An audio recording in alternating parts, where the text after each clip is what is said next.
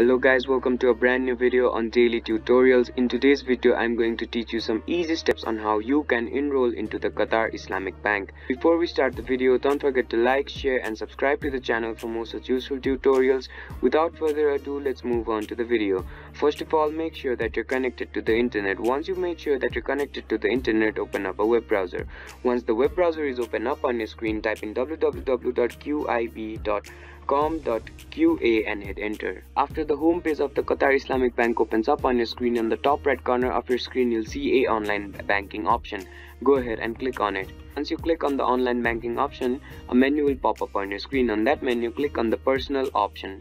After you click on the personal option, you'll be guided to another page. On this page, click on the register your account button. Once you click on the register your account button, you'll be guided to another page where you will have to fill in some credentials. You'll have to fill in your account card, ATM card number here, your ATM card pin here, your ATM expiry date here, and then click on continue. Once you click on the continue button and if you have filled in these credentials correctly, you'll be guided to another page which will help you to create an account or register for online banking in the Qatar Islamic Bank. We hope this video helped you to register into the Qatar Islamic Bank. Don't forget to like, share and subscribe to the channel for more such useful tutorials. Thank you for watching.